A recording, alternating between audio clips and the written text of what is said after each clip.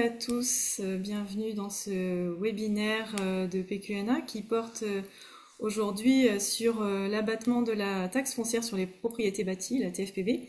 Je suis Laurence Liégeois, responsable du pôle cohésion à Pays et Quartiers de Nouvelle-Aquitaine et je suis accompagnée aujourd'hui de mon collègue chargé de mission Jules Baldi.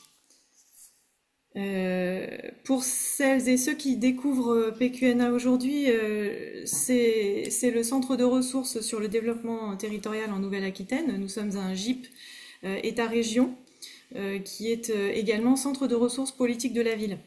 Alors nos missions de centre de ressources consistent à animer des réseaux d'acteurs, à les accompagner, à les outiller à la fois dans l'appropriation et dans le déploiement des politiques publiques des politiques publiques qui assez euh, larges. On a plusieurs thématiques d'intervention, euh, euh, pas uniquement la politique de la ville, mais par contre on a une, attention particulière sur les territoires vulnérables et particulièrement donc les, quartiers politiques de la ville, mais aussi les territoires ruraux. On a d'autres collègues qui travaillent sur des questions d'alimentation, des questions de revitalisation, d'emploi, etc. Donc, euh, nous allons aujourd'hui, pendant 1h30, euh, euh, évoquer ce sujet de l'abattement de la TFPB. pour ceux qui, seraient ici et, celles et ceux qui seraient ici pour découvrir le sujet, je pense qu'il peut y en avoir quelques éléments de définition très rapides avant de, de nous lancer. Alors, il s'agit donc d'un abattement de 30% sur la taxe foncière sur les propriétés bâties, applicable aux logements sociaux locatifs situé en, périmètre, euh, dans, les périmètres euh, des QPV. Et euh, ce dispositif existe depuis 2001. Donc on est sur un dispositif fiscal qui a pour objectif d'améliorer le, cadre de vie des habitants des quartiers politiques de la ville en améliorant la qualité des services rendus par les bailleurs en finançant des actions à leur profit. Alors pourquoi euh, nous avons souhaité à euh, PQNA évoquer ce sujet aujourd'hui? Eh bien, euh, vous le savez, je pense, la loi de finances 2024 a prévu la reconduction de cet abattement jusqu'en 2030. Euh, et, de nouvelles conventions d'utilisation euh, doivent être préparées et signées avant la fin de l'année pour que cette TFPB puisse être mobilisée. Oui, vous devez être pour un certain nombre d'entre vous dans cette dernière ligne droite là de la préparation des, conventions, euh, des conventions d'utilisation de la TFPB. Alors l'objectif de ce webinaire, il est triple. D'abord, reposer quelques éléments de, de, cadrage et de repères sur ce dispositif euh, évoquer euh, les enjeux qu'il soulève euh, en termes de partenariat, notamment sur les territoires, et puis donner à voir quelques expériences, quelques méthodes d'acteurs de la région pour réfléchir ensemble à, ces, à, ces, méthodes et à ces manières de, de faire et, et comment faire euh, en sorte que cette, cette future période là qui s'ouvre jusqu'en 2030 euh, permette aux acteurs de déployer le dispositif de manière euh, peut-être plus efficiente encore. Alors pour, pour cela, nous avons plusieurs intervenants aujourd'hui. Pour l'ANCT, nous accueillons Sabrina Abdi, qui est directrice du programme Cadre de vie, Logement, Tranquillité, Mobilité. Bonjour Sabrina. Bonjour. Nous avons euh, donc pour représenter euh, l'Union régionale des bailleurs euh, Nouvelle-Aquitaine Nicolas Blaison, directeur régional. Bonjour. Bonjour à tous. et puis ensuite, nous avons le territoire de Châtellerault qui est représenté par un, trio d'intervenants. Fabien Maisonnier, chargé de mission politique de la ville, chef de projet politique de la ville plutôt, je pense. Euh, Samuel Perrin, qui est chargé de mission euh, GUSP, gestion urbaine et sociale de proximité. Et puis euh, Frédéric Teuil de la DDT 86, qui est responsable de l'unité renouvellement urbain et logement social. Bonjour à tous les trois. Bonjour. Et enfin, euh, nous accueillons également Clément Maès, euh, pour, euh, qui représente le territoire de la Gironde, qui est délégué du préfet à la politique de la ville en Gironde et qui a accompagné une diversité de quartiers en Gironde. On y reviendra. Bonjour Clément. Bonjour à tous. Alors ce webinaire se déroulera en trois temps. Euh, tout d'abord, euh, Sabrina Abdi euh, de la NCT reposera pour nous les, les, grands principes de ce dispositif et du conventionnement qui est en cours actuellement.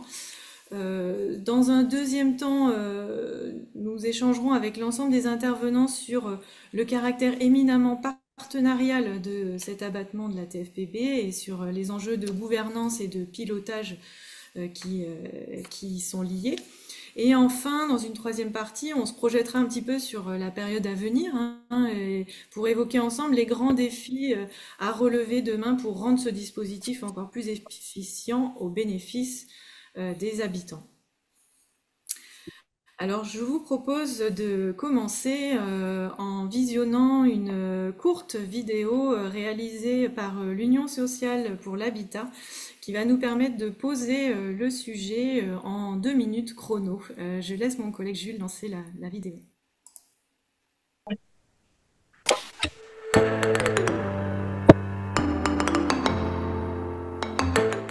L'abattement de TFPB, c'est quelque chose qui est important pour les organismes HLM et c'est surtout important pour les habitants. C'est important pour les organismes HLM parce que ça leur permet, euh, depuis maintenant euh, plusieurs années, euh, d'avoir une activité renforcée dans un certain nombre de quartiers, une activité qui est une activité d'entretien, une activité d'animation, une activité de prévention, de sécurité. On sait qu'un certain nombre de quartiers nécessitent une présence plus forte et l'abattement de TFPB permet aux bailleurs d'y contribuer. Ce qui est intéressant aussi avec l'abattement de TFPB, c'est que l'abattement de TFPB, son utilisation, elle est décidée euh, dans le cadre d'une convention, d'un engagement du bailleur qui est annexé au contrat de ville, c'est-à-dire dans un cadre partenarial. Et euh, je crois que pour les habitants des quartiers de la politique de la ville, c'est important que les démarches soient coordonnées. Et encore une fois, une solution des fois n'appartient pas que à la commune ou que au bailleur, mais c'est le partenariat des deux qui peut permettre de trouver des, solutions et euh, d'avancer encore une fois dans le mieux vivre ensemble, dans le bien vivre ensemble. C'est pour cela qu'on parle d'équipe ou d'un mode projet. On est une équipe projet pour lesquelles on, pilote effectivement, l'État pilote ce dispositif d'une manière assez forte, rythmée, et d'une manière aussi euh, partenariale avec les conseils citoyens qui sont très présents. Eh en fait, l'abattement TFPB a permis euh, la concrétisation de ce projet euh, tout simplement. Euh, et notamment, grâce à la dynamique partenariale, on a très rapidement, quand on a commencé à parler de ce projet, on a très rapidement pu avoir autour de la table l'ensemble des partenaires pour leur présenter notre projet. Si on parle strictement finance, bien sûr que c'est un moins pour la commune quelque part. Mais je ne suis même pas convaincu que financièrement, ça, ça laisse beaucoup à la commune, puisque d'une façon ou d'une autre, dans notre volonté, encore une fois, de développer ce, bien vivre ensemble, il faudrait le payer différemment. Donc que ce soit par euh, ce moyen-là, euh, me semble très très intéressant encore une fois parce qu'il est euh, vraiment partagé dans ses dépenses, dans ses, dans ses actions entre les, deux gros partenaires que sont le bailleur et la commune. Et encore une fois, c'est vraiment un travail d'équipe et voilà, faut, je dirais, il ne faut pas changer une équipe qui gagne.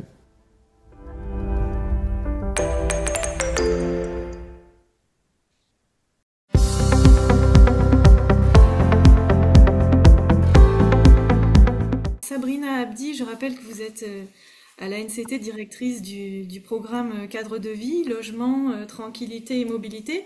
Alors peut-être tout à l'heure nous direz-vous si selon vous la TFPB est une équipe qui gagne, mais pour le moment en tout cas, est-ce que vous pourriez, nous, nous rappeler un peu le cadre de ce dispositif, les enjeux de, sa mise en œuvre et peut-être quelques recommandations de la NCT aussi adressées aux, acteurs des territoires qui travaillent en ce moment sur leur convention. Je vous laisse prendre la main.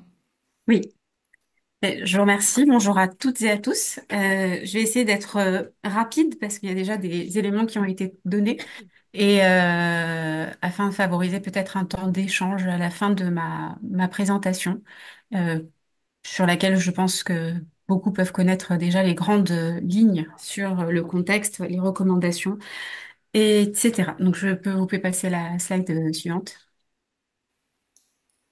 Donc du coup, euh, un petit rappel du contexte de l'abattement. Euh, il s'agit donc euh, d'un dispositif fiscal qui est régi par l'article 1388 euh, du Code général des impôts et qui euh, pose quelques conditions pour bénéficier de l'abattement. Donc vraiment en tant que point de vigilance, c'est vraiment que le bailleur doit être signataire du contrat de ville. Les euh, conventions, euh, quand bien même ce seraient des conventions cadres euh, pour, euh, pour les prochaines années, euh, quitte à travailler après euh, les, les plans d'action, etc., doivent être signées pour le 31 décembre 2024. À ce stade, aucune latitude n'est possible. Il n'y aura pas de, de report de signature pour le début euh, 2025 euh, pour les conventions à venir. Les euh, organismes doivent euh, transmettre euh, également les, documents au Conseil citoyen. Comme ça a été rappelé dans la vidéo, la place de l'habitant est aussi importante dans la mise en place de ce dispositif et de, ce suivi. Et, surtout pour les nouveaux quartiers entrants, une déclaration doit être conforme et transmise au service des impôts pour déclarer le patrimoine, notamment après des démolitions, des déconstructions ou des constructions. Vous pouvez passer à la deuxième slide. Donc du coup, euh, ce qui cadre aussi, euh, euh, je crois que c'était la- la- l'autre slide, pardon. Euh, alors ça, c'est la 1. Voilà, parfait, super. Euh, donc il y a bien le- l'article 1388 qui, euh, qui pose euh, les, les grandes lignes et qui, qui régit le, ce dispositif-là, mais au niveau national, donc il y a une, une, un partenariat entre l'Union sociale pour l'habitat, le ministère de la Ville euh, et les associations d'élus qui avaient travaillé un- une convention cadre en 2015 et qui a fait l'objet d'un avenant en septembre 2021. Euh, donc du coup, la convention est vraiment le cadre de référence des engagements, les modalités d'élaboration, les modalités de dénonciation, les modalités de, bilan, etc. Euh, dans le cadre du CIV de 2023, euh, fin, fin 2023, euh, il avait été aussi question de bien marquer que cet abattement doit bien s'articuler aussi avec les objectifs des contrats de ville. Euh, donc ça, c'est quelque chose à rappeler parce qu'il y a aussi un effet euh, levier qui est très important euh, sur euh, financier hein, euh, en termes d'abattement. Donc travailler au maximum ces plans d'action et ces programmes de, de, de travail avec une- en articulation avec les contrats de ville. C'est un programme qui doit être défini de façon partenariale, donc comme je disais, l'État, les collect- la collectivité et le bailleur, et qui doit se baser sur un diagnostic partagé et en, et en favorisant aussi la participation des habitants. Et comme ça a été rappelé par vous aussi la, vidéo, euh, il vise vraiment à renforcer l'entretien et la gestion du parc HM dans les QPV et la qualité euh, de vie euh, des habitants. Donc, les enjeux, c'est établir une gouvernance partagée, permettre l'articulation de l'abattement avec les contrats de ville et bien évidemment l'enjeu de signature pour le 31 décembre 2024. Donc ça, c'est un rappel assez rapide aussi euh, des axes qui sont définis dans le cadre euh, national euh, de, de- d'utilisation de, l'abattement. Donc il y a huit axes qui, euh, qui sont définis et diverses actions qui en découlent. Le renforcement de la présence du personnel de proximité, la formation de ce personnel-là, le surentretien, la, la, la gestion des déchets, la tranquillité résidentielle, la concertation des habitants, les petits travaux d'aménagement, etc. Il est important aussi de rappeler qu'il est dans le cadre du programme de travail ou du plan d'action d'abattement, il faut favoriser la, diversité d'actions et pas, quand bien même il n'y a pas d'obligation de pourcentage euh, sur un axe ou sur un autre. Il faut favoriser au maximum la, diversité et pas retrouver, euh, par exemple, euh, un- une surreprésentation d'actions sur les enjeux de, sécurité ou de vidéoprotection dans les, dans les QPV, mais aussi euh, favoriser la question de, du personnel de proximité, la formation et aussi on avait introduit en 2021 euh, les enjeux de verdissement dans les, dans les QPV.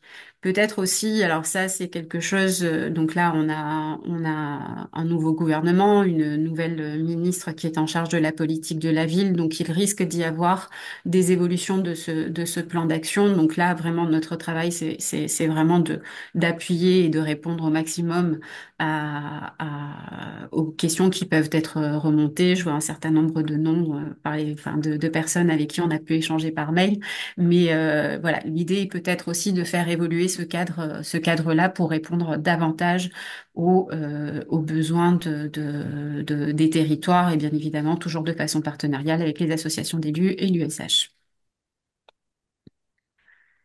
Donc, les actualités qui datent un petit peu, puisque c'était de juin, on a publié trois documents en et en, collaboration avec euh, l'USH euh, pour accompagner les acteurs locaux dans l'élaboration de leur convention euh, pour 2025-2030. Il s'agit en fait de une convention type qui a été diffusée normalement très largement, tant au niveau des réseaux État, euh, collectivité, mais également euh, euh, bailleurs, qui est en fait la convention type d'utilisation d'abattement pour pouvoir travailler sur ce sujet-là, mais bien évidemment, elle n'est pas obligatoire. Euh, il y a également eu la, publication d'un référentiel d'utilisation de l'abattement, donc euh, qui euh, qui précise aussi davantage les axes que j'ai énumérés euh, juste avant du cadre national et euh, aussi donne un peu des orientations sur l'utilisation de cet abattement et, et, et, propose quelques préconisations. Et enfin, il y a eu la publication en, juin aussi, il me semble, de la part de l'USH du bilan triennal document euh, qui vise à, à, expliciter comment les, les, les, qui est plutôt un bilan qualitatif et non pas euh, quantitatif et financier euh, très précis de l'utilisation de cet abattement sur sur en France. Euh, Peut-être euh, donc ça c'est les trois documents qui ont été publiés au mois de juin. Euh, de son côté, la DGFIP a mis à jour ce qu'on appelle le BOFIP en fait, qui est un peu la doctrine des services administratifs sur la taxe foncière sur les propriétés bâties. Et euh, l'USH a transmis à son réseau euh, président et directeur généraux de, de bailleurs sociaux euh, une circulaire sur la les modalités de mobilisation de l'abattement et, et, aussi euh, les, les, les, inviter euh, concrètement à, à travailler euh, sur ces conventions d'utilisation. Donc, en termes de recommandations, c'est ce que je rappelais, mais on, on le rappelle encore, et c'est vraiment travailler euh, les orientations avec le contrat de ville, mais aussi la gestion urbaine et sociale de proximité mettre en place une gouvernance synchronisée. On a par exemple euh, l'exemple de la métropole d'Aix-Marseille qui a travaillé à un agenda idéal partagé entre les, euh, les partenaires euh, locaux qui prend en compte tant les, les, les enjeux de d'abattement, mais aussi les appels à projets qui peuvent être divers et variés et qui peuvent bénéficier au contrat de ville et synchroniser les, les gouvernances et pas multiplier les, les instances et inciter les, les bailleurs à fournir un bilan quantitatif et qualitatif euh, sur euh, l'utilisation de l'abattement. Donc là, on est dans une période plutôt de conventionnement que de dénonciation.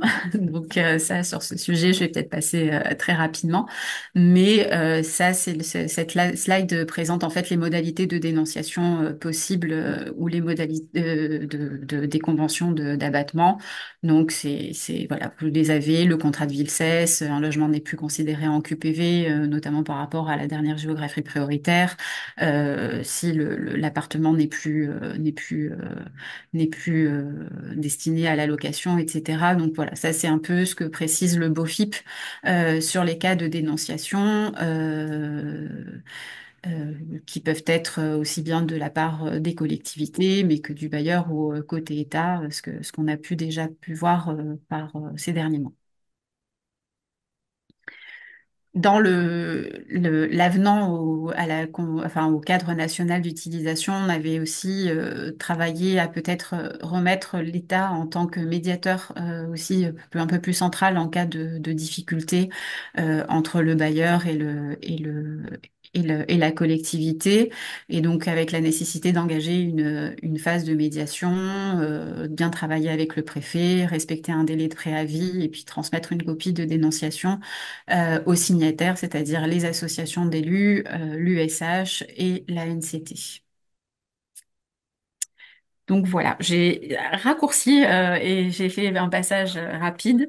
Donc pour pouvoir favoriser les questions, euh, il est possible qu'il y ait des questions sur lesquelles je ne suis pas en capacité de répondre parce que c'est un dispositif qui euh, qui a une gouvernance particulière. Hein, c'est euh, c'est la DGFIP euh, qui euh, qui est plutôt, on va dire, qui, qui remontées. Et côté ANCT, on travaille vraiment de concert avec l'USH au niveau national pour vraiment favoriser la mise en place, éviter la dénonciation et, aider au maximum et outiller les acteurs locaux.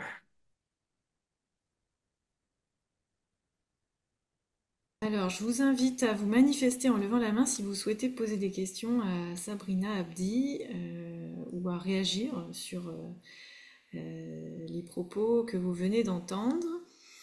Est-ce qu'il y a des, zones d'ombre qui subsistent pour vous Des réactions? Clément? Je me lance si personne n'a levé la main. Madame Abdi, on a, déjà eu l'occasion d'é- d'échanger, mais j'en profite de votre présentation pour euh, euh, vous poser la question euh, sur cette dénonciation. Ce n'est pas le, sujet qu'on a le évoqué dans le travail euh, de reformulation des contrats, et pourtant il transparaît sur certains territoires, surtout des territoires où il y a des toutes petites TFPB et où certaines collectivités ont l'impression que ça leur serait plus profitable de l'avoir en gestion directe plutôt que de rendre des comptes euh, en multi-partenariat euh, avec quatre arbitres euh, que sont l'État, le bailleur, euh, la, communauté de communes et la ville. Euh, est-ce que vous pensez euh, que euh, les villes sont à même de signer un contrat de ville et de pouvoir euh, euh, décider euh, de, de toucher euh, cet abattement en direct sans passer par le dispositif? Est-ce que c'est des choses que vous avez déjà vues ailleurs? Euh, Qu'est-ce que vous en pensez? Alors, s'il n'y a pas de signature de convention, il n'y a pas bénéfice d'abattement. Euh, donc après, euh, alors le calcul, je l'ai pas en tête parce qu'il y a un abattement de 30% sur la taxe foncière, mais ensuite il y a une compensation de l'État. Euh, s'il n'y a pas d'abattement, il n'y a pas de compensation de l'État. Et ensuite, euh, in fine, enfin, je j'ai pas les montants, mais euh, parce que je, ça, c'est- je, je- ça me revient plus en, en tête. Mais le bénéfice euh, final pour euh, la, la collectivité est moindre que, enfin, ça se calcule pas comme ça. C'est pas 30% à, à leur main, euh, enfin, comme ça. Bref. Donc, du coup, pas d'abattement, pas de convention. Donc, euh, après, oui, ça, ça fait toujours euh, des, euh, euh, des crédits en plus pour la, pour la collectivité, mais il y aura pas de convention. Alors après, ils peuvent ça en mettre en gestion urbaine ou des choses comme ça, mais euh, après, nous, on préconise vraiment de, de, de, de, de mettre en place ça parce que les, les, certes, c'est un dispositif qui peut être, euh, qui peut se montrer complexe à suivre et à, et notamment par cette, euh, comme vous dites, cette gouvernance qui parfois peut être euh, difficile à, mettre en place et à accorder. Mais après, le, bénéfice euh, est, plutôt important pour les habitants et aussi, ben, comme j'avais eu un échange avec Laurence en, amont, on, essaye vraiment de travailler avec l'USH et les associations d'élus pour améliorer ce dispositif tant dans son suivi que dans son efficacité et, et ça minimum double les programmes du 140, enfin les crédits du programme 147 sur euh, le, local. Donc euh, il y a un véritable bénéfice à, mettre en place euh, ce type d'outils et, nous, côté État, à améliorer justement la gouvernance et, les outils pour le, niveau local. Tout en laissant, bien évidemment, parce qu'il y a vraiment des, des multitudes de, mises en place et de dialogues qui ont été mis en place. Merci. Merci à vous. Petite question dans le chat euh, sur euh, l'éligibilité ou non de, de certaines actions euh, qui relèvent de, de, euh, alors des transitions, on va dire, sur l'utilisation de matériaux euh, géosourcés ou de réemploi. Est-ce que c'est des actions qui euh, peuvent trouver leur place dans le dispositif? Est-ce que vous avez des, des exemples de, choses financées dans le cadre de l'abattement euh, qui se rapportent à ce type de démarche? Alors moi, je vois pas du tout, non, sur, euh, sur ce type euh, de, de, de, projet. On est plus sur des, des, petits investissements, du jardin partagé, du recyclage, etc. Mais après, enfin, voilà, plutôt que ce type de projet-là, à ma connaissance. Nicolas Blaison pour plutôt sur les petits travaux d'amélioration de la qualité de service. Là, ça me semble plus relever euh, de politiques d'investissement plus importants. Euh, et j'ai pas connaissance euh, de bailleurs euh, qui auraient euh, fléché ce type d'investissement dans ce cadre-là. À la rigueur, euh, il y a Je un autre dispositif qui, euh, qui permet justement d'inscrire euh, ce type de, de, de, je dirais de travaux dans, et, et qui bénéficie aux bailleurs, c'est, la majoration, euh, euh, des, enfin, c'est les marges locales, dans, dans la mesure où euh, les, les marges locales permettent aux bailleurs d'inscrire ce type de travaux et en compensation euh, de, de générer une majoration du loyer qui, qui permet ensuite d'équilibrer l'opération. si je peux me permettre de compléter, pour autant, là, on est sur, pour les marges locales, sur de la programmation plutôt nouvelle, Oui, pas tellement sur la réhabilitation, la requalification qui relève euh, davantage de l'abattement dont, dont on parle aujourd'hui. c'est vrai, c'est Mais vrai, que c'est en complément. Oui.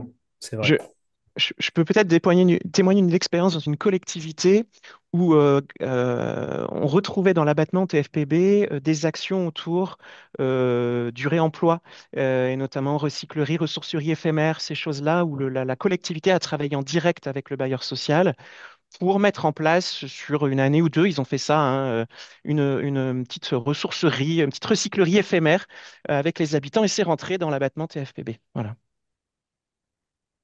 Pour, Euh, pour expérience, je voulais témoigner aussi sur, euh, sur le Libournais. On a trouvé un acteur aussi qui a engagé euh, toute une campagne de sensibilisation autour du recyclage des biodéchets et la mise en place de composteurs et l'animation autour de ces composteurs pour fournir l'ensemble du territoire, services municipaux compris, de, de, de compost directement issus du quartier. hmm. D'accord, merci pour euh, cette réponse collective.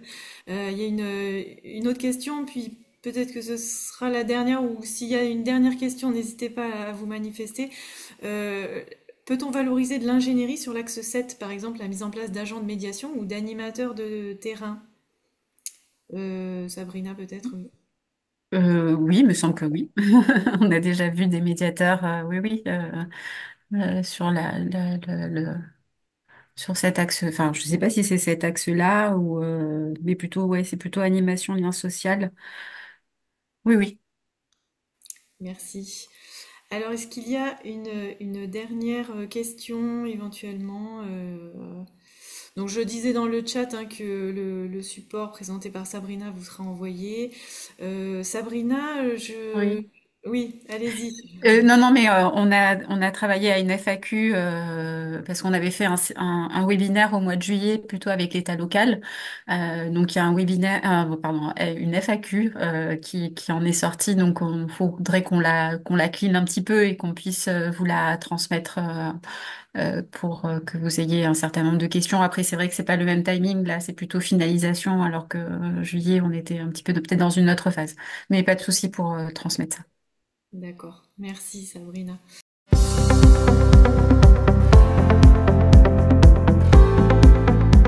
Euh, La, seconde partie de ce webinaire, mais en réalité, la seconde partie, on a déjà commencé à en parler, puisqu'il s'agit de, s'intéresser au sujet de la gouvernance et, du pilotage de ce, dispositif, hein, euh, qui, euh, qui a un caractère partenarial que tout le monde souligne et, on l'a bien compris. Alors, euh, on a eu à cœur là dans ce webinaire de, euh, mobiliser euh, différentes parties prenantes qui interviennent dans ce dispositif justement pour euh, donner à voir un peu le rôle de chacun à l'intérieur du dispositif euh, et alors euh, et de croiser les, regards de ces différentes parties prenantes sur euh, ce sujet qui semble complexe quand même, hein, de la gouvernance de la TFPB et de son pilotage. Je dis qu'il semble parce que c'est ce, qu'on entend quand même beaucoup euh, remonter euh, de la part des acteurs.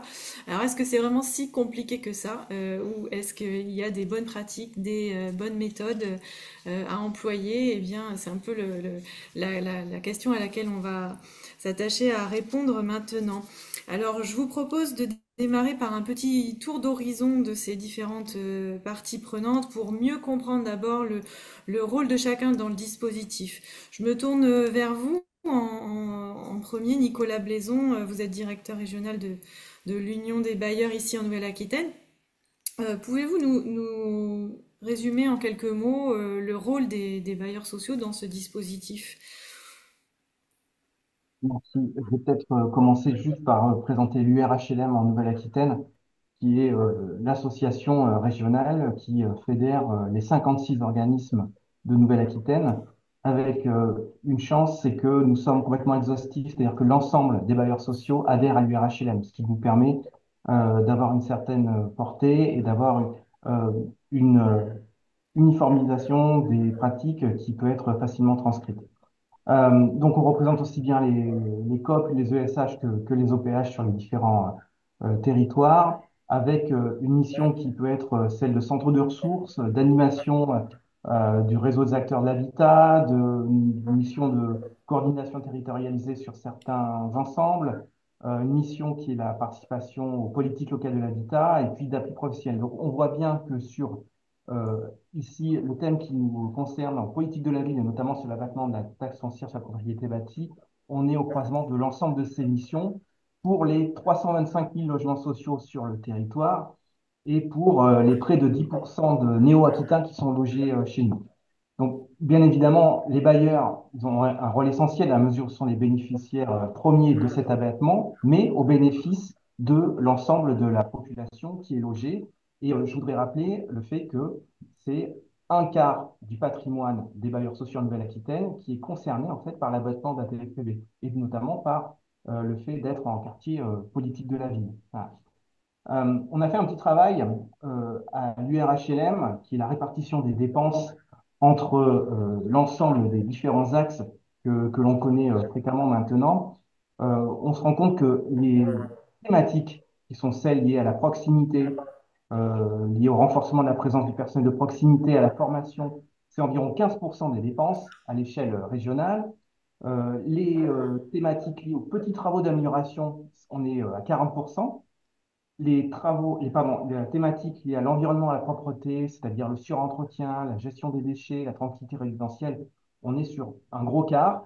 Et puis pour ce qui concerne la vie sociale, euh, la concertation, euh, l'animation, le lien social, on est sur environ 20%.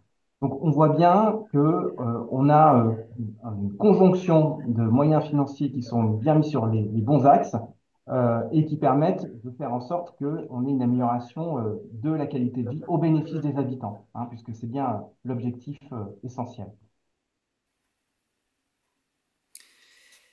Est-ce que vous pouvez du coup nous, préciser le rôle de, puisque vous avez démarré par l'union régionale, le, rôle que vous jouez dans le dispositif auprès de vos adhérents peut-être Absolument. Donc, on, a d'abord un, rôle qui est celui du rappel des objectifs de l'abattement de la TFPB, un peu ce qu'on fait aujourd'hui, mais à destination euh, des salariés de, euh, des bailleurs, de façon à ce que l'information euh, passe le, mieux du monde, en complémentarité avec, bien évidemment, les délégués du préfet sur certains territoires. on a un rôle de rappel des modalités de définition des programmes d'action liés à l'utilisation de l'abattement. Et puis, on a un travail sur le référentiel de l'utilisation de l'abattement, puisqu'on a, participé de façon très étroite euh, au référentiel euh, qui a été euh, produit là au, cœur de l'été. Donc, ça nous a permis de faire en sorte que les parties prenantes puissent avoir une compréhension la plus partagée possible de l'ensemble des enjeux qui ont trait aux bailleurs sociaux, puisqu'on s'aperçoit, on s'aperçoit pardon, de temps en temps qu'il peut y avoir une petite différence d'interprétation, euh, de connaissance euh, entre euh, les bailleurs sociaux, leur personnel, mais, également les personnalités de terrain qu'on trouve sur tel ou tel quartier, qu'ils soient en collectivité, en association. je pense que c'est important de pouvoir faire connaître les points de vue de chacun. Hmm. Oui, donc on imagine bien que les, pratiques euh, doivent être euh, très diverses euh, d'un bailleur à l'autre, mais aussi sans doute d'un territoire à l'autre. à l'échelle de la Nouvelle-Aquitaine, hein, vous, confirmez cette hétérogénéité des, modes de faire? on a, on a un avancement des travaux et de la prise en compte de cet abattement et de son impact de, très disparate d'un territoire à l'autre. il y a plusieurs aspects. Il peut y avoir une volonté politique affirmée, il peut y avoir des moyens humains qui sont mis de façon différenciée, il peut y avoir des moyens techniques qui ne sont pas là, il peut y avoir un, dialogue qui est, à construire sur un territoire.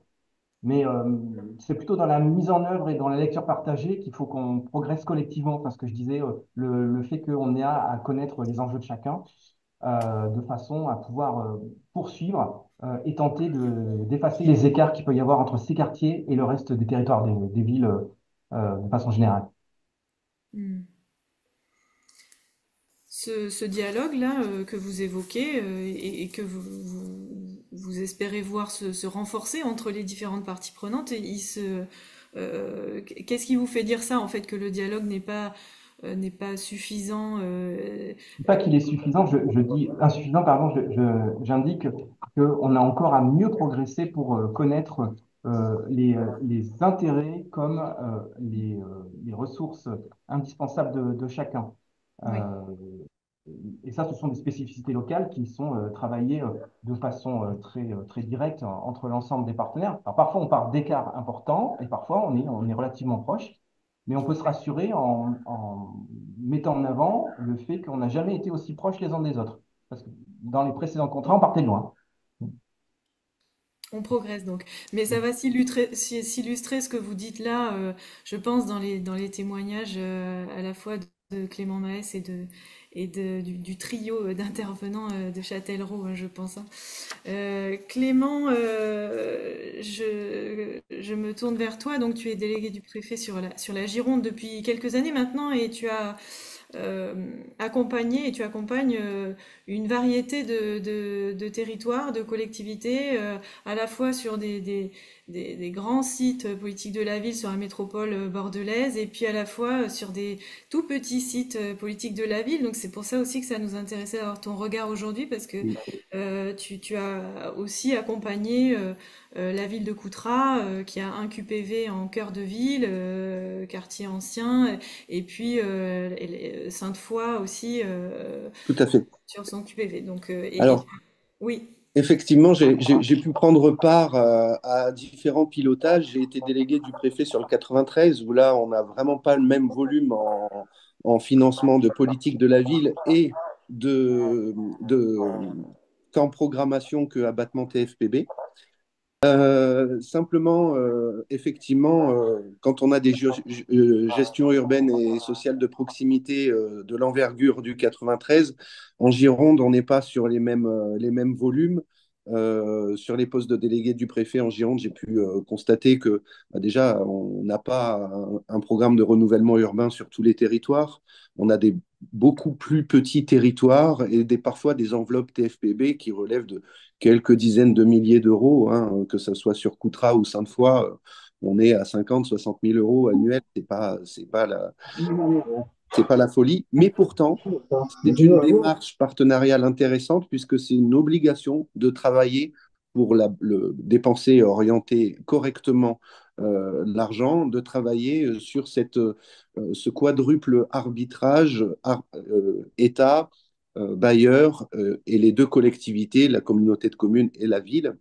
Et, ça, effectivement, euh, peut-être en introduction, dire que ce, ce, dispositif, il est vraiment à l'image du, mode projet de la politique de la ville, où en politique de la ville, on est quand même la politique la plus évaluée, la plus, euh, euh, la plus conventionnée, euh, la plus diagnostiquée, et qui fait appel au plus de transversalité qui existe dans l'ensemble des politiques publiques.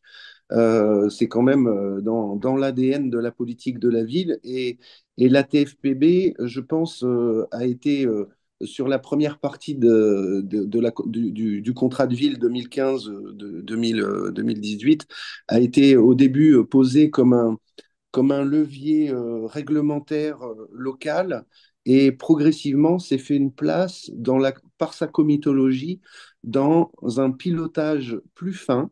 Et je rejoins euh, le constat de, Nicolas Blaison, on, on, est là pour faire évoluer et améliorer les échanges autour de ce dispositif qui part de loin, qui part euh, de loin comme une obligation euh, légale et réglementaire, et qui finalement, avec un peu de travail de bonne volonté et une comitologie adaptée, se transforme en véritable outil et levier d'action euh, pour les habitants, avec les bailleurs et les collectivités, sous la, sous la houlette et le contrôle, bien évidemment, des services de l'État.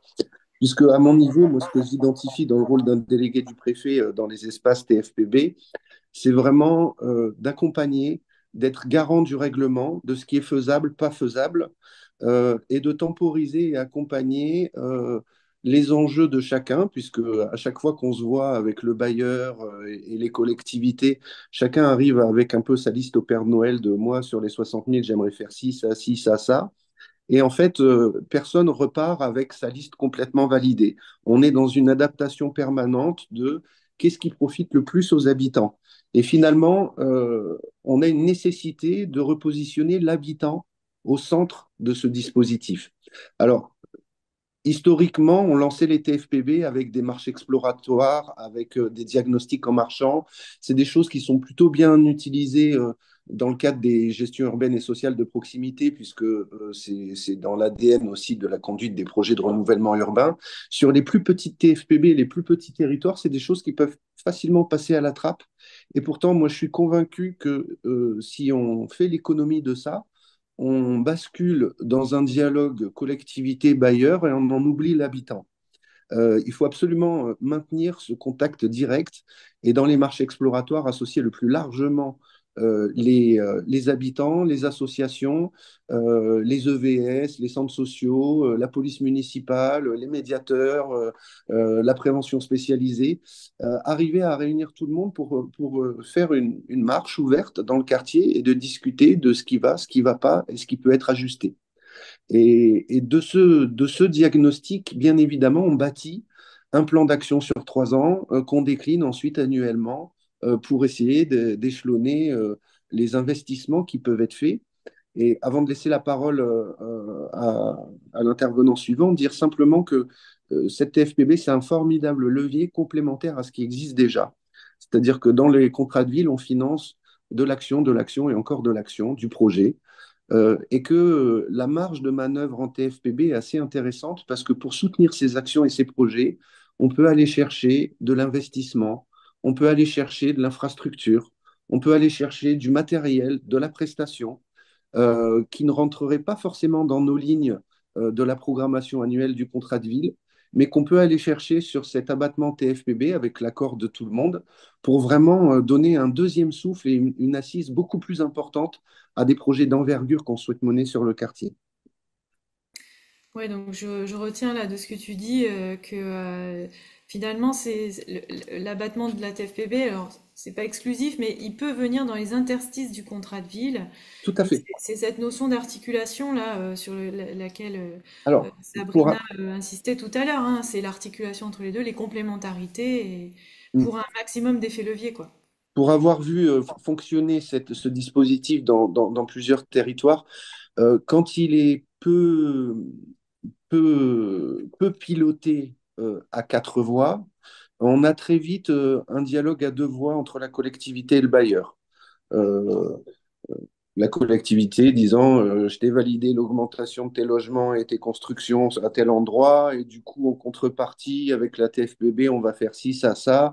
Et c'est donc une chambre euh, d'enregistrement et d'investissement euh, bis de la collectivité où quand la collectivité s'en désintéresse on a parfois sur certains territoires des TFPB qui sont quasiment euh, piloté que par le bailleur lui-même, avec une chambre d'enregistrement, euh, pas forcément plus déléguée du préfet, parfois c'est la DDTM, en tout cas un service de l'État qui fait chambre d'enregistrement. Et là, effectivement, entre vous et moi, sur ces territoires en matière de TFPB, ben, il ne se passe pas grand-chose. Euh, donc ça, devient intéressant effectivement de repositionner les quatre voies dans le pilotage de ce dispositif et puis de remettre euh, un enjeu, un enjeu action, habitant euh, et impact, impact à court terme euh, sur, sur la qualité de vie des habitants. Merci Clément. Bah, justement, on va se tourner vers nos, intervenants qui viennent de la collectivité de Châtellerault et puis également de Frédéric Teuil, donc Fabien Maisonnier et Samuel Perrin, et puis Frédéric Teuil pour la DDT 86 qui vous, êtes le, trio qui, qui est à, la manœuvre sur le premier sur le, premier cercle en tout cas hein, sur le pilotage du dispositif avec les, les bailleurs de votre territoire. Est-ce que vous pouvez nous présenter en quelques mots justement ce territoire, le parc du logement social, ce que l'abattement représente comme enveloppe hein, pour qu'on ait un peu une idée de, de, comment ça se déploie sur Châtellerault?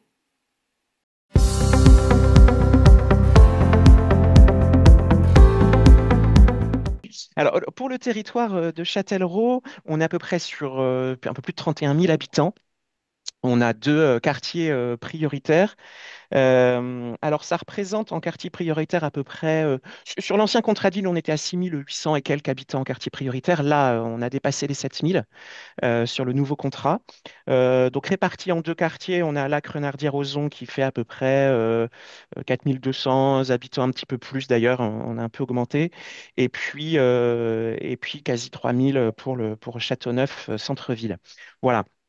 Euh, donc c'est ce que je vous disais, on a vraiment, euh, on a, on a certes, on a deux quartiers, mais on a en réalité quatre secteurs assez distincts et assez différents sur lesquels on travaille différemment pour le coup, euh, et on les anime très différemment. D'ailleurs, dans le contrat, on a vraiment dissocié ces quatre secteurs, dans le contrat de vie, je parle, on a dissocié effectivement ces, ces quatre secteurs de, de, ces deux, de, de ces deux quartiers, quoi. Voilà. Oui, c'est pour les chiffres. C'est la notion de quartier euh, réel et quartier réel. Exactement. Euh, mm. Après, parce que c'est vrai que c'est un enjeu aussi euh, pour la TFPB. Je te laisse poursuivre. Bah, Frédéric, peut-être les, les, les ah chiffres que ça représente? Oui, juste pour compléter un tout petit peu sur les quartiers, effectivement, on raisonne par secteur parce que d'un autre côté, la configuration est complètement différente avec aussi un, un bâti différent et, et du coup, voilà, les problématiques sont, différentes. Euh, sur, les, sur quelques chiffres, en tous les cas, euh, effectivement, euh, on a, enfin, l'abattement TFPB, en tous les cas, sur la période 2016-2024, elle représente un peu pour l'ensemble des quartiers sur le secteur de Châtellerault à peu près 3,5 millions d'euros. Donc, effectivement, c'est une somme qui, permet quand même de faire certaines choses. voilà, donc, et, et, et, du coup, on a à peu près 2300 euh, euh, euh, logements environ qui, qui s'inscrivent sur ces quartiers, 2300 logements sociaux, qui réunissent à peu près deux bailleurs, en l'occurrence Habitat de la Vienne et la SEM Habitat. Voilà. Chaque année, en gros, on travaille sur des programmations de l'ordre de 479 000 euros à peu près. Voilà. Oui. Alors, est-ce que vous pouvez, on reste avec vous, la Châtellerault, est-ce que vous pouvez nous expliquer un petit peu plus comment vous travaillez cette coordination, ce pilotage là euh, du dispositif? Alors, euh, qui parle, Fabien euh, Vas-y, je t'en prie, Frédéric. Alors, moi, je vais, je vais dire ce qui, ce qui n'allait pas, ou en tous les cas, comment on travaillait un peu avant. Et, du coup, ça, ça, répond un peu à, l'observation de Monsieur Maé ou Maes, je sais, enfin de Clément, en tous les cas, qui, euh, qui disait qu'effectivement, euh, si, euh, s'il y avait que des échanges entre DDT et, et bailleurs, rien ne se faisait. Et en l'occurrence, c'était un peu le cas, même beaucoup le cas, on va dire, sur les, je dirais les premières années de la, de, la convention. Et, du coup, en fait, effectivement, on enregistrait, voilà, le bailleur, vous, il dépense tant sur telle action, sur tel axe, et, puis c'est tout. On en restait là. Il n'y avait qu'une réunion par an euh, autant dire euh, que euh, le partenariat et tout ce qui s'en suivait était quand même très très limité. Et du coup, et là je vais laisser la, main à, Fabien, mais on a travaillé depuis, on va dire, un an, presque deux maintenant, sur une nouvelle gouvernance, en tous les cas, pour, pour dynamiser ce, ce, dispositif, sur, et notamment sur le territoire de Châtellerault. Voilà, je te laisse euh, la main, Fabien, ou comme tu veux. Oui, oui, tout à fait. Ben, euh, effectivement, on a, on a souhaité un peu revoir euh, notre, notre gouvernance euh, bah, avec euh, d'abord la signature du nouveau contrat de ville et puis là avec la- les nouvelles conventions qu'on doit, qu'on doit passer là. C'était l'occasion effectivement de bien re-questionner tout ça.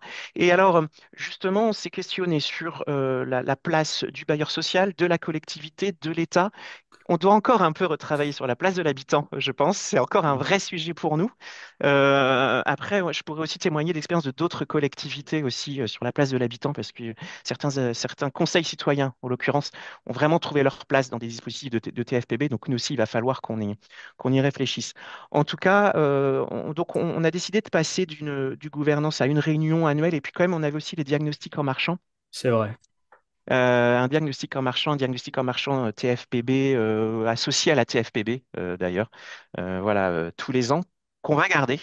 Euh, donc on aura toujours ce diagnostic en marchand qui a lieu euh, au printemps, euh, printemps, printemps, début d'été. Ça aussi, on va le garder. Et puis on aura d'autres temps d'animation en collectif et puis en individuel, collectif bailleurs sociaux, puis de façon plus individuelle avec chacun d'eux. D'abord le temps de la programmation, à peu près, euh, je dirais, en, novembre, en fin d'année, qui sera un vrai temps pour nous, euh, où là, on va revenir un peu sur l'année écoulée et puis sur la programmation de l'année suivante. Euh, on attendra mars pour faire un bilan, le bilan de l'année précédente, sur un temps aussi soit individuel, soit collectif. Et puis le diagnostic en marchant. Et à mi-année, on a décidé de faire un, petit, bilan à mi-parcours euh, pour, pour s'assurer que ce qu'on a prévu euh, en novembre, euh, juste avant, que ce soit bien actionné, que c'est bien sa place, que c'est bien été suivi. Voilà. Et, qu'on puisse encore se laisser de la marge s'il y a de la régule, s'il y a des ajustements à faire sur la progra et si on se constate que certains axes ont été peu développés, peu travaillés depuis le début de l'année, ça nous laisse encore un peu le temps jusqu'à la fin de l'année de, de- de réactionner, de revoir les choses. Donc ça, c'est aussi quelque chose qu'on a rajouté, ce petit bilan mi-parcours. Alors soit en juin, soit en septembre avant ou après, euh, voyez, les, vacances d'été. Euh, c'est aussi l'occasion de revenir sur le diagnostic en marchant, voilà, de s'assurer que suite au diagnostic en marchant, qu'il y ait un retour, un suivi, que, en tout cas que ça ait servi à quelque chose. C'est pas juste aller faire du repérage dans le quartier, de se dire ça va, ça va pas et on en reste là. Non, Euh, c'est au titre aussi de la TFPB qu'on peut trouver des réponses et puis s'assurer du bon, du bon suivi. Voilà, et puis on, on revient encore une fois, oui, c'est ce cycle-là, on revient à novembre avec la programmation pour l'année suivante, et puis après on va, on va enchaîner un petit peu comme ça. Voilà, ça va donc se renforcer.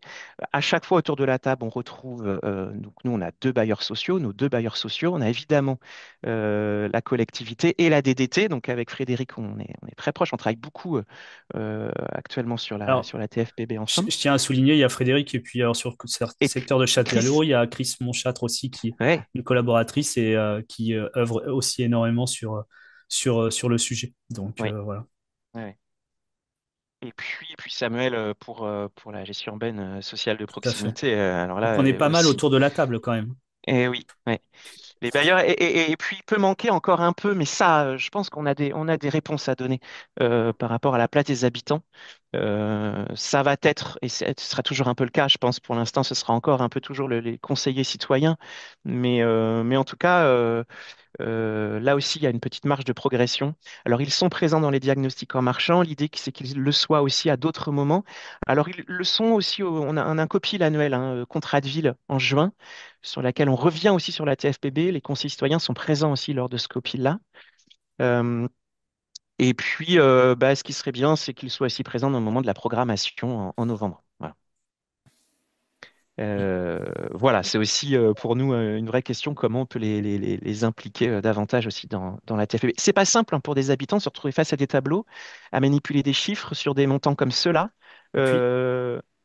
Oui, ouais, il y a, il y a ce, ce, ce côté-là. Et puis, il y a aussi le- la, la difficulté, c'est peut-être aussi pour les bailleurs de aussi transmettre des informations qui, qui parfois peuvent être, en tous les cas, interprétées peut-être euh, pas, pas de la bonne manière ou en peut-être d'une manière différente. Et du coup, il y a aussi une certaine réticence, en tous les cas, à transmettre, en fait, en tous les cas, tous ces éléments-là à, à, à des citoyens qui, euh, voilà, qui, qui, qui pour lesquels en fait la lecture est peut-être euh, peut-être un peu compliquée.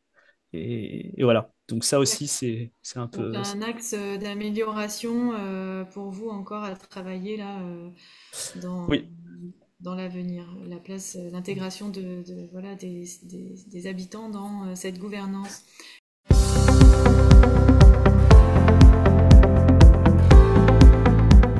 Clément, tu voulais intervenir? Oui, je. Tu nous partager un peu euh, les pratiques de la comitologie en Gironde, ce que vous avez mis en place? Mais je, je, je pense que c'est n'est pas que en Gironde, hein, c'est euh, quelques remarques sur, euh, sur euh, la comitologie euh, minimale et idéale qu'on peut se donner euh, en matière de pilotage TFPB. J'entendais les collègues de Châtellerault qui donnaient déjà un peu des échéances et, des, et des temps forts dans l'année.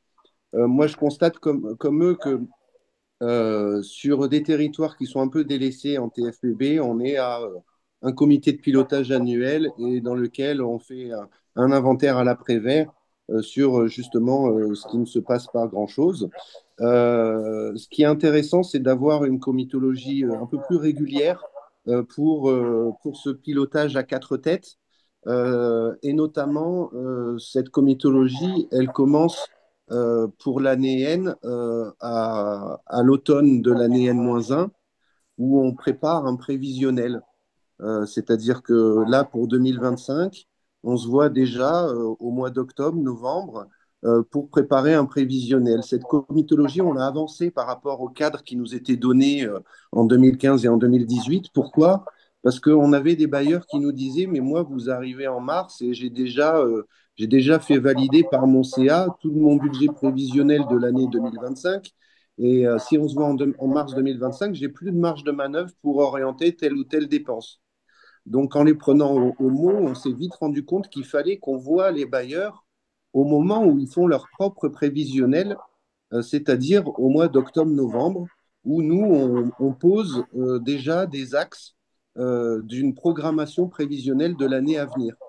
Dans cet échange, parce qu'on essaye de ne pas faire 10 000 réunions non plus, on oriente aussi en, fin d'année les reliquats de la programmation euh, de l'année de l'année N-1, c'est-à-dire que là, on, va se voir en novembre euh, cette année. On va parler du prévisionnel 2025, mais on va aussi boucler les reliquats des projets qui ont avancé, pas avancé, qui se sont pas réalisé et qu'on réoriente pour éviter absolument d'avoir des reliquats et de gérer tout un système de reliquats d'une année à l'autre qui est confortable pour personne. Donc, euh, donc cette réunion au mois de novembre, elle sert à ça. Généralement, on essaye de la faire après le lancement des appels à projets politiques de la ville. Comme ça, on est un peu dans le, dans le bon timing euh, aussi. Après euh, cette réunion donc de l'automne de l'année d'avant, sur l'année N, on, se voit et on va se voir là, donc en mars 2025, pour parler du bilan 2024, analyser ensemble le bilan 2024 et graver dans le marbre la programmation de l'année 2025. Là, les projets sont bien ficelés. Euh, souvent, sur ces réunions de préparation et de programmation, on invite des assos on invite, euh, on a un, projet phare euh, sur le quartier, on sait que c'est tel assaut qui va le porter, le bailleur ne la connaît pas, donc on invite l'assaut, on a deux heures de réunion, mais la première demi-heure, on l'a fait avec l'assaut qui se présente, qui présente son projet, etc. On, on, dans la comitologie, on n'est pas que institutionnel, on, ouvre cette comitologie aux associations. Et puis, euh, à...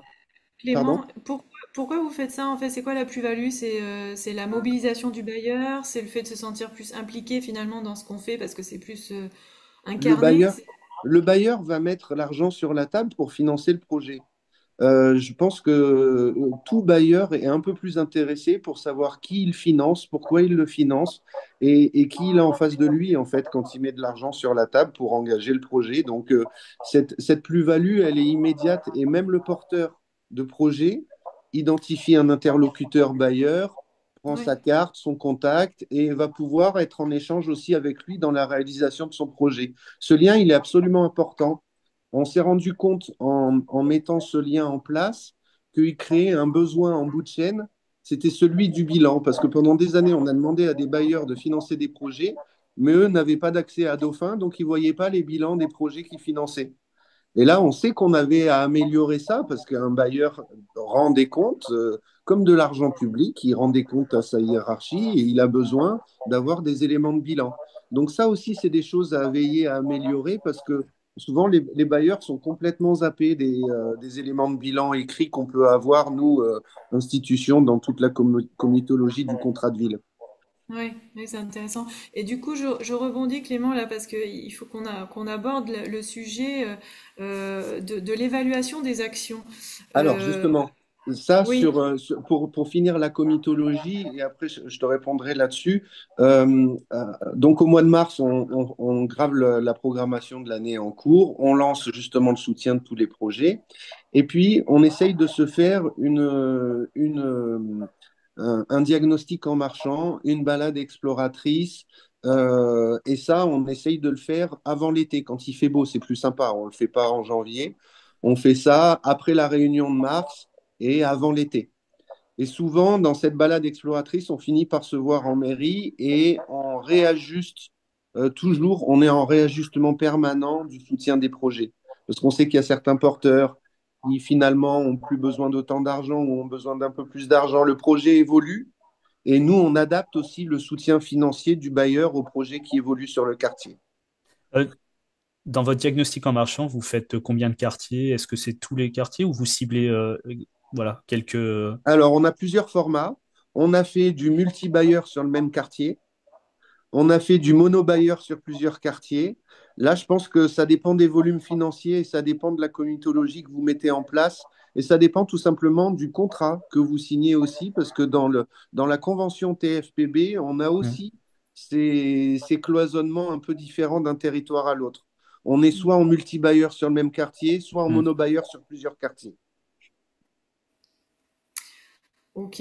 Et donc, euh, sur, sur cette question de l'évaluation, je, je voulais d'abord, euh, avant Clément, que tu nous partages euh, ce que tu voulais partager, donner la parole à Nicolas, parce que Nicolas Blaison, donc de l'Union régionale des bailleurs, il y a un, des, des- quelle est le, le- le- la position des, des bailleurs, en, en tout cas ce que vous entendez vous remonter euh, au niveau de l'Union régionale là, sur, sur cette question de l'évaluation, euh, Oui, je, je- je souscris à ce que vient d'indiquer Clément sur euh, de temps en temps euh, des éléments euh, qualitatifs. Euh, il y a l'évaluation qui peuvent échapper aux, aux bailleurs de façon à pouvoir mesurer l'action euh, qui, qui a été réalisée. Euh, par contre, je, je voudrais apporter juste un petit bémol sur, sur le fait que j'ai pas connaissance de bailleurs qui auraient financé euh, des, euh, des programmes ou des, euh, des opérations ou des partenaires euh, sans, sans, sans connaître euh, un minima euh, ce qui s'y passe. hein. Euh, Je pense que euh, la totalité euh, des bailleurs euh, regarde précisément quelle est l'utilisation des fonds euh, et c'est important, euh, toujours en ayant, euh, je pense que c'est particulièrement important de le rappeler, le fait que l'ensemble de ces actions sont au bénéfice des habitants. Euh, je, crois que c'est quelque chose pour lequel les bailleurs sont particulièrement sensibilisés euh, maintenant depuis quelques années, euh, grâce notamment à euh, tout le travail partenarial qui est effectué euh, à quatre voies dont on, dont on parle depuis tout à l'heure. Alors pour, pour compléter ce que vous dites, euh, Monsieur Blaison, et, et répondre un peu plus à Châtellerault, très vite sur cette comitologie, on a quand même choisi, dans la mesure du possible, d'avoir du multi-bailleur par quartier. Pourquoi? Parce qu'il y a un effet d'émulation entre bailleurs. Hmm. Et parfois, quand on travaille des projets multi-territoriaux, même d'investissement, je pense à, par exemple, un, un, une aire de jeu pour enfants musicale qu'on a financée à Coutras, qui était sur le périmètre euh, d'un bailleur, mais qui était financée avec l'ensemble des bailleurs. Donc, on a même réussi à, négocier avec eux que, vu que c'était le quartier vécu, et on a intégré dans nos conventions la notion de quartier vécu, qui n'est pas juste le QPV. Euh, et cette aire de jeu, elle est dans le quartier vécu, elle est utilisée par tous les habitants de tous les bailleurs, mais elle est sur le, patrimoine d'un des trois bailleurs. Et donc, on a demandé aux deux autres bailleurs bah, de, financer l'investissement de cette aire de jeu, même si ce n'était pas sur leur patrimoine. Et par la qualité du partenariat qu'on a engagé depuis un bout de temps sur ce territoire, tout le monde était d'accord. Oui, je, je souscris tout à ce que vous indiquez et je pense que c'est une action euh, qui mérite d'être amplifiée et en tout cas un axe d'amélioration certain, c'est la dimension euh, multi-bailleur de certaines actions qui pourraient être considérablement renforcées. Euh, l'exemple que vous donnez me semble tout à fait, tout à fait juste. on a tendance, d'ailleurs, à travailler encore un peu en silo, quartier par quartier, là où certainement des logiques d'agglomération aussi pourraient être travaillées. Mais du coup, encore une fois, on, a encore plein de, de marges de progression et ça, c'est plutôt chouette. Voilà. Et du coup, est-ce que vous préconisez plutôt une convention, par exemple, par quartier multi-bailleur ou, euh, ou plutôt une convention euh, euh, quartier bailleur Voilà. Enfin. Alors, pour répondre à votre question, on a mis. On, on, fait la comitologie en multi-bailleur, mais le conventionnement, il est mono-bailleur, multi-quartier sur la plupart de notre, Mmh. notre, euh, de, nos territoires. On a quelques territoires où il est euh, multi-bailleur, monocartier, mais c'est, c'est, plus compliqué dans les services juridiques des bailleurs d'avoir, un, d'avoir en plus un texte qui est validé par tous. On voit bien, quand on a réécrit les conventions, qu'il y a des petites spécificités des bailleurs sociaux qui nous obligent parfois à dire mmh. les choses différemment d'une convention à une autre. Or, arriver à aligner tout le monde sur un même document, c'est parfois un peu plus difficile. Hmm. Oui, tout à fait. D'accord. Merci à vous tous pour ces éléments. Je voudrais euh, soulever un, autre sujet qu'on n'a pas encore abordé euh, sur cette question de la gouvernance. Là, c'est le rôle et les missions euh, de la DGFIP. Sabrina en a dit un petit mot euh, tout à l'heure, euh, Sabrina Abdi. Euh, la, question que je voudrais poser à notre panel d'intervenants, c'est pourquoi est-il intéressant, voire nécessaire, d'associer la DGFIP et donc les DRFIP à l'échelle départementale à ce tour de table en fait du partenariat de la TFPB Est-ce que est-ce que c'est le cas sur certains territoires ou est-ce que vraiment c'est quelque chose pour l'instant qui n'existe pas? Pourquoi c'est intéressant, voire nécessaire de le faire euh, peut-être Sabrina et puis après Clément, peut-être? Euh, alors, pourquoi euh, faire intervenir les services fiscaux, c'est ça, hein, dans le, dans le... Alors, c'est un peu particulier parce que tous n'ont pas forcément le, le niveau de, de, compréhension et de connaissance hein, de la politique de la ville, leur, euh, ce, qui, ce, sur quoi ils travaillent est, est assez différent, mais euh, ça peut être intéressant en tout cas de, d'engager un dialogue avec eux, euh, déjà peut-être dans un premier temps, hein, quand il n'y a pas de dialogue, et, et, et d'engager une, des échanges bah, déjà pour les sensibiliser hein, à la question de la politique de la ville et, et aussi à l'impact de la et euh, voir euh, comment euh, développer un partenariat un peu plus approfondi sur les sur les années qui, qui arrivent. Il y a des territoires hein, qui travaillent très bien avec leur direction soit régionale, soit départementale des finances publiques, et d'autres pour lesquels et ça dépend aussi des ressources humaines hein, qui, qui, qui, qui sont mises à disposition pour ces suivis-là au sein des, des directions départementales. Donc je, je pense que c'est une bonne chose déjà, ne serait-ce que de prendre contact et d'essayer d'engager un dialogue et un échange pour, euh, pour, les, pour les sensibiliser et puis pourquoi pas développer un partenariat sur les années euh, à venir. En tout cas, c'est ce qu'on fait aussi au niveau national. Voilà. Pour, pour compléter ce que vous dites, euh, Sabrina, je, je, je, suis tout à fait d'accord avec ça. Maintenant, sur le terrain, c'est parfois un peu plus compliqué de rentrer en contact avec eux. Mmh. Pour être totalement transparent, c'était même très compliqué. Euh, d'avoir un interlocuteur parce qu'en fait, euh, nos, collègues des services fiscaux sont sur euh, mille et un dispositifs d'impôts et, la TFPB, ça en est un, mais l'abattement, ça en est un autre et personne ne se sent réellement en charge de ce dossier, d'autant plus que la, la TFPB elle est fixée euh, selon un nombre de logements présents en QPV. Euh, il y a des exonérations euh, qui profitent aux bailleurs lorsqu'ils construisent ou qu'ils réhabilitent des, des, résidences, mais au bout d'un certain temps, effectivement, les logements basculent et sont soumis au dispositif TFPB. Donc il y, a, il y a constamment, en plus avec les ventes et les accessions à la propriété, il y a un nombre de logements qui varie systématiquement d'une année à l'autre. Alors qu'en plus, l'abattement TFPB, il, est, il repose sur un déclaratif du bailleur aux services fiscaux. Mmh. Euh, déclaratif qui peut être soumis à contrôle, euh, contrôle des services fiscaux et plus largement des services de l'État. Et pour être totalement transparent avec vous, je pense que euh, pour, être, pour que ça soit euh, pour, qu'on ait un bon pilotage de TFPB, il faut aussi que les cadres soient clairs dès le début. Et, je, je me suis engagé auprès d'un certain nombre de mes interlocuteurs à améliorer ça sur ces prochaines années, de récupérer du bailleur, mais aussi des services fiscaux, le déclaratif du nombre de logements, du nombre de logements par résidence, et d'avoir un suivi de variation de ces logements pour voir les variations de la TFPB. Parce que souvent, on a des bailleurs qui nous disent euh, a posteriori Ah, bah, la TFPB baisse cette année, mais j'aurais dû la faire baisser il y a trois ans parce qu'il y avait les logements de telle résidence qui, qui sont plus comptés dedans, mais je ne vais pas revenir sur les, les montants que j'ai mis. On a eu déjà des échanges avec des bailleurs qui étaient euh, plutôt bienveillants parce que souvent, les écarts de TFPB sont très souvent à la faveur de l'habitant et du dispositif.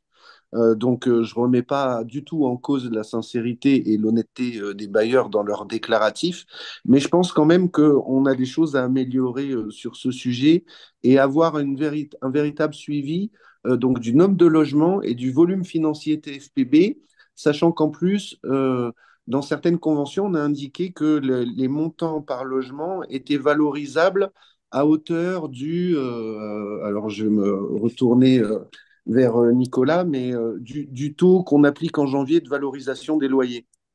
De 0,2%, enfin, je ne sais plus combien il est euh, exactement, mais on part du principe que vu que les loyers augmentent et la valorisation de ces loyers augmente pour le bailleur, ben, on a proposé d'indexer aussi le montant par logement de la TFPB sur ce taux-là dans, les années, dans les années à venir, pour obliger le bailleur à être constamment dans une adaptation et dans une valorisation du dispositif euh, indépendamment des baisses de logement qu'il peut y avoir par de l'accession à la propriété, euh, des cessions, euh, etc. Enfin, des, des achats-reventes qu'il y a dans tout organisme bailleur. Alors juste peut-être aussi, ah pardon, juste par rapport à ça, justement, on a eu un échange durant l'été avec la DGFIP et là, il y a tout un travail qui est en train d'être fait justement pour bien remettre à plat euh, le, recensement des, euh, des logements. Parce qu'il y a, ben, comme vous dites, hein, il y a des décalages et puis côté impôt, ça peut ça peut être deux ans, euh, etc. Euh, mais en tout cas, on a bien compris que aussi au niveau local, c'était pas forcément euh, bah, déjà identifier la personne et puis même les DDFIP ont fait remonter à la DGFIP euh, bah, ils sont euh, parfois euh, surpris d'être sollicités pour pour pour le suivi de l'abattement donc il y a aussi un travail à nous à faire au niveau national et effectivement on, on s'est engagé dans un dans un dans des premiers échanges et dans un dialogue peut-être plus constructif pour construire ça dans les prochaines années. Je voulais juste poser. Pardon, excusez-moi. Ah non, pardon, allez-y.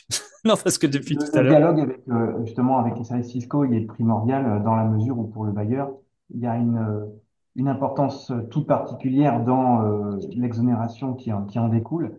Et l'inventaire précis, qui n'est jamais exact, c'est un travail de, de, tous les jours avec, avec les services fiscaux. Alors, tout dépend aussi de la qualité du relationnel qui est tissé. c'est assez évident mais euh, ça va mieux en le disant. Juste pour rebondir, Clément, sur ce que vous dites sur euh, l'action que vous avez euh, menée et avec une augmentation un peu automatique du volume permettant de pouvoir financer un certain nombre d'actions, je voudrais juste rappeler que l'augmentation, c'est pas comme les de loyer, c'est pas comme les, les antibiotiques, c'est pas automatique. En fait, tout dépend de la décision du conseil d'administration et on peut avoir une quantité de situations tout à fait différentes selon la gouvernance du bailleur euh, selon la situation économique euh, dans laquelle on se trouve. Et en fait, on est limité par l'indice de, des loyers qui, cette année, par exemple, est à 3,25. Voilà. Donc, il peut y avoir des petites différences comme ça, mais c'est intéressant de pouvoir échanger là-dessus. Frédéric? Non, je voulais juste rajouter aussi que, effectivement, la, la question qu'on se pose en tous les cas en local, c'est dans quelle mesure, en fait, la DGFIP a, est un vrai levier dans le dispositif. Enfin, dans le sens où, euh, effectivement, on, peut obtenir des, informations de leur part sur le nombre de logements ou sur le niveau de l'abattement. Mais, euh, après, moi, ce que j'ai cru comprendre, hein, ça fait deux ans que je suis sur le dispositif, c'est, c'est qu'une fois que la mécanique elle est mise en place, etc., que les conventions sont signées, c'est que de toute manière, l'abattement, il est presque acquis d'office. Enfin, vous me dites si je me trompe, mais voilà, il n'y a, y a pas. Euh, enfin, on ajuste la programmation, c'est-à-dire l'orientation des actions, etc. Mais le niveau, en tous les cas, voilà, si par exemple, euh, lors d'un bilan, on, constate que rien n'a été fait par un bailleur, quid euh, des actions que nous, on peut mettre en place ou mener, etc., ou en tant que service de l'État? Alors après, c'est un rôle de, discussion, enfin, il y a toute une discussion, un partage, etc. Mais voilà, c'est la question que je pose en tous les cas. Oui. Bah, pour tout vous dire, on, avait proposé à la DRFIP, euh, aux interlocuteurs de la Gironde de participer à ce temps, et puis ils n'ont pas pu euh, euh, être disponibles en fait. Donc, on va pas, on va pas parler pour eux, mais en tout cas, ce qu'on, ce qu'on peut dire, c'est qu'il y a une nécessité d'engager un dialogue avec, avec ces acteurs-là pour déjà euh, faire de l'interconnaissance et euh, s'expliquer mutuellement euh, comment on travaille, quelles, sont les, missions de chacun, jusqu'où on peut aller, ce qu'on peut pas faire et, et, les marges de manœuvre qu'on a. J'ai l'impression hein, qu'il y, a, voilà, on peut atterrir peut-être là-dessus. on répondra pas à toutes les questions aujourd'hui, mais en tout cas, c'est un axe d'amélioration, en effet, qui semble un peu partagé par pas mal d'acteurs et de territoires.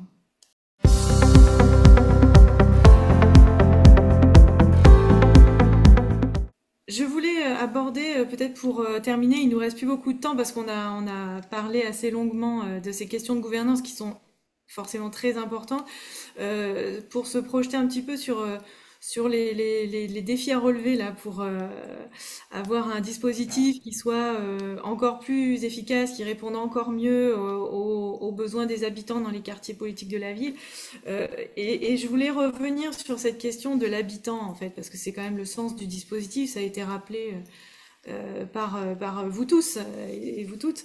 Donc la question que j'avais envie de vous poser, c'est comment est-ce qu'on peut faire pour euh, garder le cap sur cet esprit du dispositif qui est de placer l'habitant au centre et d'essayer de répondre aux besoins euh, de, de, euh, de, de, habitants. Comment le placer au centre de l'action? On a compris à travers le témoignage de Châtellerault que c'est pas forcément évident d'intégrer l'habitant dans la gouvernance, mais pour autant, comment plus largement, comment est-ce qu'on s'assure que le dispositif répond bien aux, aux besoins du, des habitants?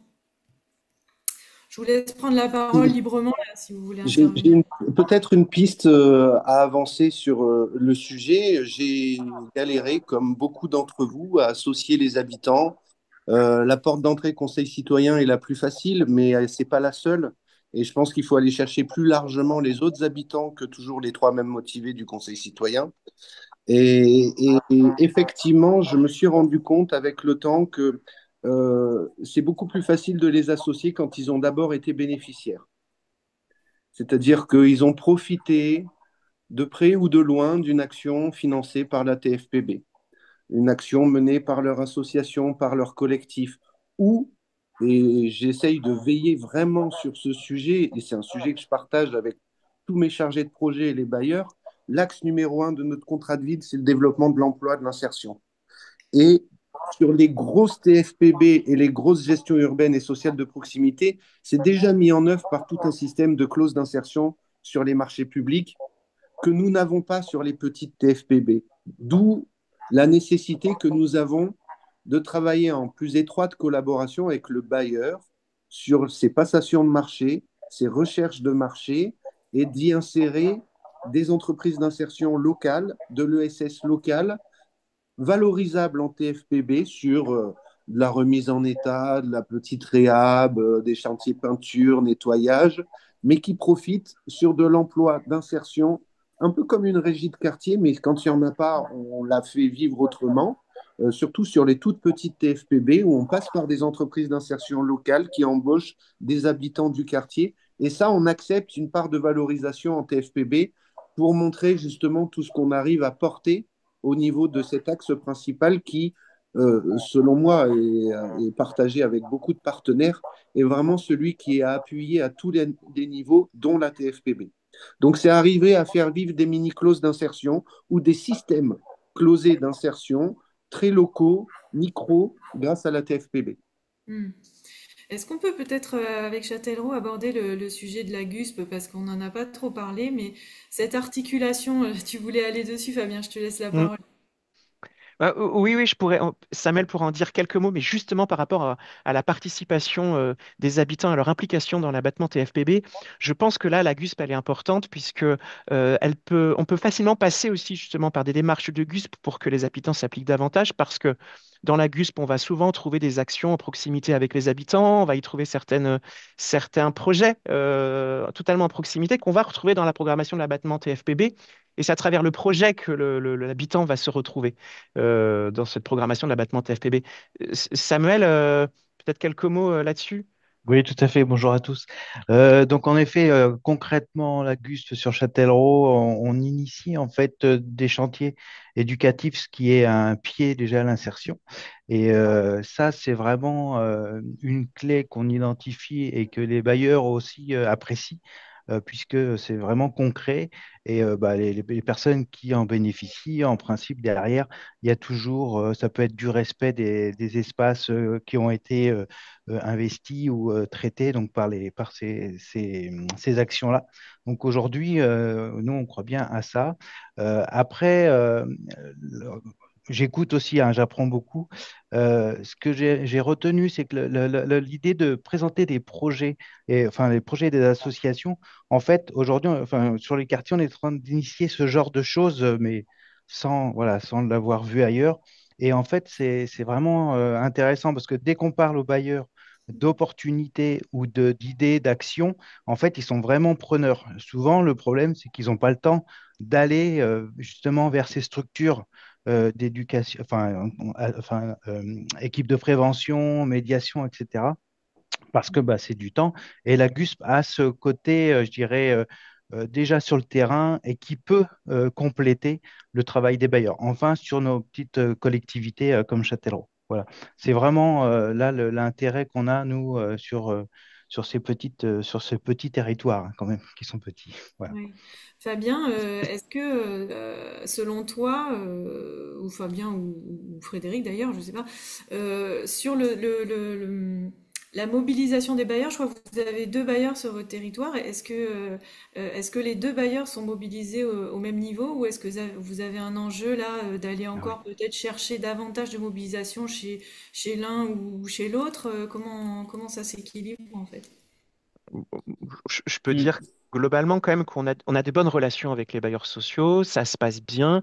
Euh, là, quand on a parlé de, de- de- de- d'un petit, d'un, d'un changement au titre de la gouvernance et, et qu'on allait redynamiser, ils sont restés très ouverts d'ailleurs à ça et ça a été même très bien reçu. On ne savait pas, hein, on s'est posé la question comment ils vont recevoir ça et alors euh, ça a été très très bien reçu et au contraire, je crois que c'est ce qu'ils attendaient. Euh, donc, euh, on a, on a vraiment répondu autant à notre besoin qu'au leur.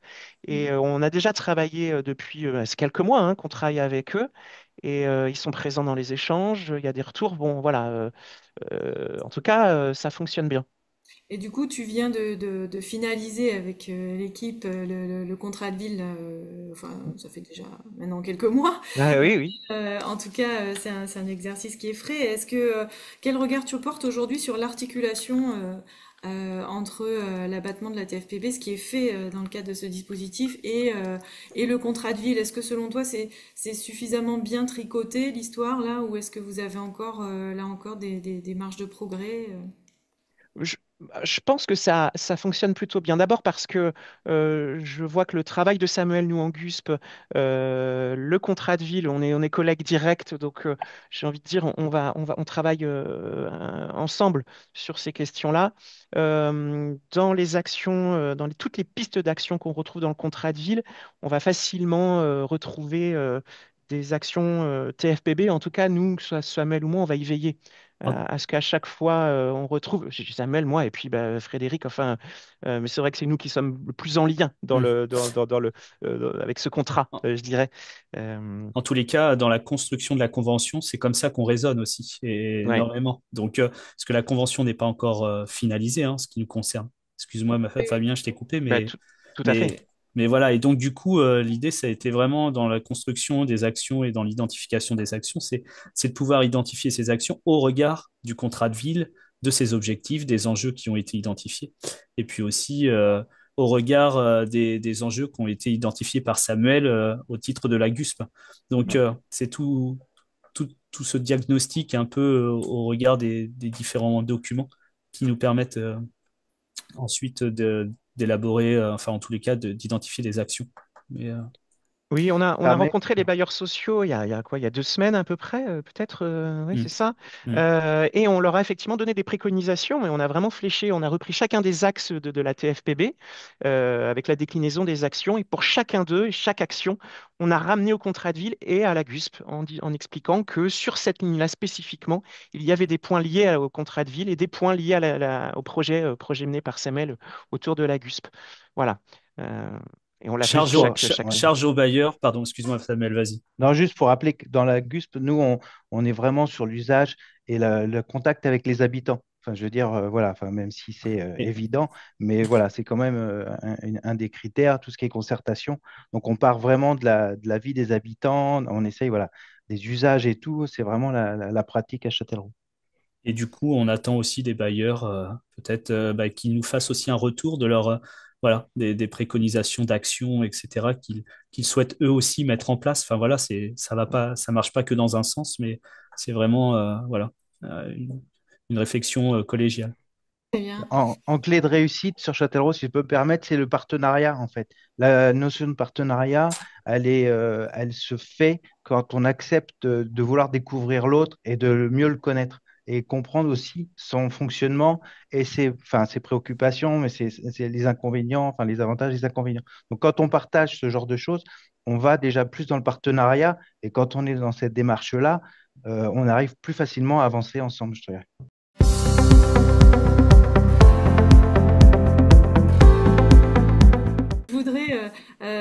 À chacun des, intervenants là qu'on avait au- autour de l'écran euh, aujourd'hui euh, vous poser une dernière question pour clôturer ce webinaire qui, touche bientôt à sa fin. Euh, le, le- dans le, film du départ, il y avait un, intervenant qui disait on change pas une équipe qui gagne. hein. Alors la, TFPB, on continue point d'interrogation et je voulais vous demander à chacun de nous dire peut-être un, un souhait que vous avez pour cette nouvelle période qui s'ouvre là à horizon 2030, une ambition pour, euh, pour euh, le dispositif de là où vous êtes, de votre, de votre fonction. Clément, est-ce que tu veux démarrer euh, Qu'est-ce qui ton, ton souhait pour cette période? Pour rester le plus concis possible, je souhaite à tous le plus de fluidité possible. Parce que l'enjeu de la réussite de ce dispositif, c'est la fluidité, c'est l'échange, c'est la transversalité. Et euh, trouver des, des modes d'arbitrage en dehors de la comitologie pour prendre en charge une facture de barbecue, euh, d'un repas des habitants, euh, pour avoir la fluidité qu'on n'a pas forcément sur nos, nos institutions et notre cadrage contractuel qu'on peut avoir grâce à l'organisme privé qui est un bailleur et au fléchage des dépenses qu'il peut y avoir sous la forme de simples prestats auprès d'un bailleur. C'est vraiment travailler cette réactivité, cette fluidité davantage au plus près des habitants. Merci. Clément. Nicolas, un dernier mot euh, euh, sur euh, votre ambition ou l'ambition, euh, en tout cas, euh, du point de vue des bailleurs, tel Ce que de- transition. d'indiquer Clément me va très bien.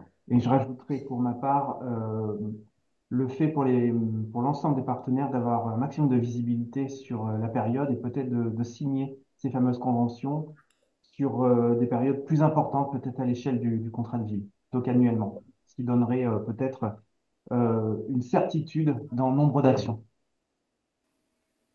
Merci Nicolas. Euh, pour Châtellerault, je ne sais pas qui voudrait donner un mot de la fin. Il en faut qu'un. Donc, euh, mettez-vous d'accord. euh, vas-y, allez-y, la collectivité. Ouais. Vous êtes, euh, moi j'ai plein de choses à dire, mais allez-y. Non, mais là pour nous, euh, le défi, c'est d'arriver au bout, en tout cas, de notre contractualisation avec toutes les promesses qu'on s'est fait entre les partenaires. Il faut que ça fonctionne, il faut qu'on aille au bout, toujours dans l'idée qu'effectivement que ce soit au profit des habitants et qu'on reste très ancré dans cette idée que de toute façon, toutes les actions qu'on doit mettre en œuvre doivent être faites pour eux. Et, euh, et donc, je crois que là, on est plutôt, on a bien actionné, on travaille bien tous ensemble. On a le plaisir de travailler tous ensemble, je crois qu'on peut le dire, hein, Mm, Frédéric, Samuel. euh, mm. Je crois qu'on prend du plaisir aussi à travailler ensemble, c'est vrai. Donc, euh, ça, ça nous aide bien.